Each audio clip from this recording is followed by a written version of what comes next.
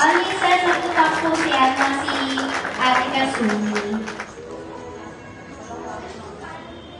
Our principal, academic coordinator, Mrs. Emily Coloma, teachers, parents, and fellow schoolmates, a pleasant morning to you all.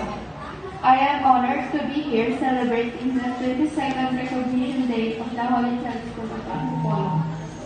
Corporate. First of all, I would like to take this opportunity to express my gratitude to the hardworking teachers of our class who helped me today present my work to all of you today. I am grateful to our teachers who always taught us relentlessly and guided us diligently. Thank you for being the stepping stone to achieving my dreams. Thank you for acting as our second guardian and showering us with your knowledge. Always grateful for the love and knowledge you provided us.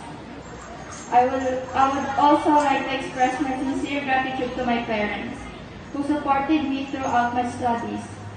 I'm always thankful for, for having considerate and understanding parents.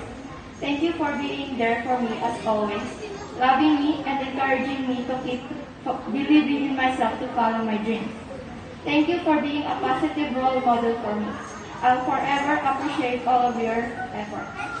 And to my classmates, thank you for cheering me up when times get rough. Thank you for always being dependable and trustworthy. I would also like to thank myself for working hard and staying strong through the obstacles, and for believing in myself in succeeding. Above all, I want to express my gratitude to our all-powerful God for giving me a new day and for all the blessings He has bestowed upon us. We appreciate your keeping an eye on us and leading us. Always remember to believe in yourself, my fellow schoolmates.